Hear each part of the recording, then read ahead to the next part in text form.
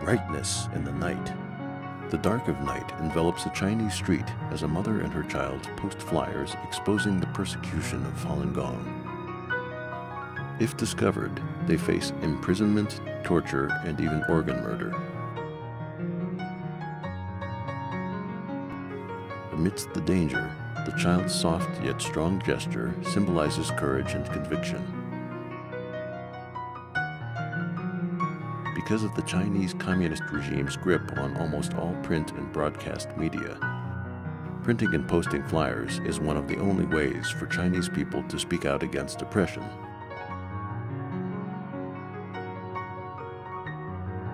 Coming for You.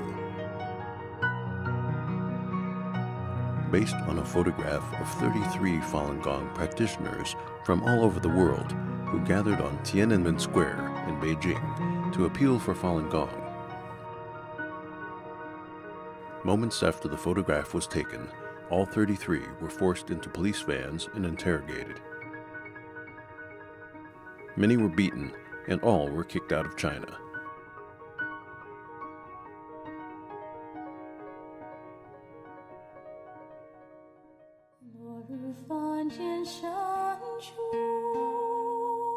Based on a true story, a young woman touches the heart of her captor by singing after being arrested for appealing for Falun Gong in Tiananmen Square.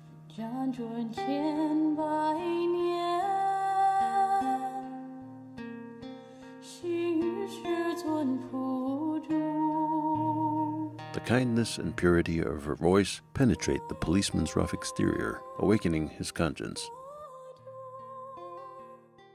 Cherubs overhead represent the sincerity of her song being heard in the heavens. The scene is based on the true story of an American woman who traveled to China in 2002 to express her support for Falun Gong.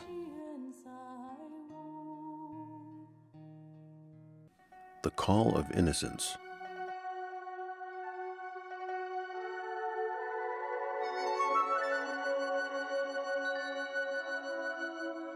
The girl pictured here and many others braved the elements in a year long campaign to raise awareness of the persecution of Falun Gong practitioners in China on the streets of New York.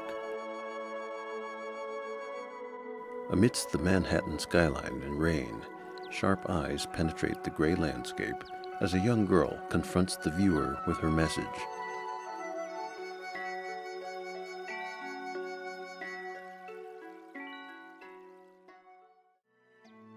Fortitude.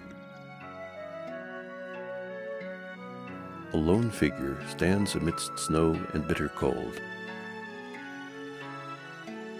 The harshness of the weather echoes the harsh realities of human rights abuses in China. The yellow cap shows that the man practices Falun Gong. Thousands in the Western world have joined efforts to end the injustices in China but many others are unaware or indifferent. Intersections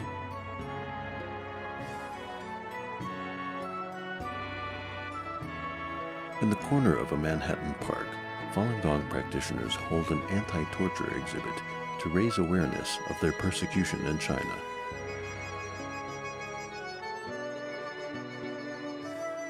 A mock jail cell and torture apparatus give a glimpse of the situation in China. The different responses of the passers-by, from concern to indifference, are reflected in the use of color.